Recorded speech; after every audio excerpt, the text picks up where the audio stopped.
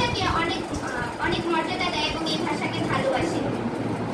এই আন্দোলনে অনেকেই মারা যান। এই আন্দোলনে পুলিশের গুলিতে সালাম, বরকত জব্বার, রফিক সহ আরও অনেকেই মারা যান, যাদের আমরা ভাষা শহীদ বলে বলে থাকি এবং তাদের স্মরণে বাংলাদেশে শহীদ মিনার প্রতিষ্ঠা করা হয়েছে। আমাদের উচিত তাদের সবসময় শ্রদ্ধা প্রদর্শন করা, কারণ তাদের কারণে আমরা আমাদের ভাষার অধিকার পেয়েছি, আমাদের বাংলা ভাষাকে নিজের মাতৃভাষা হিসেবে আজ পর্যন্ত দেখতে পাচ্ছি। এবং 最，你先爬山去。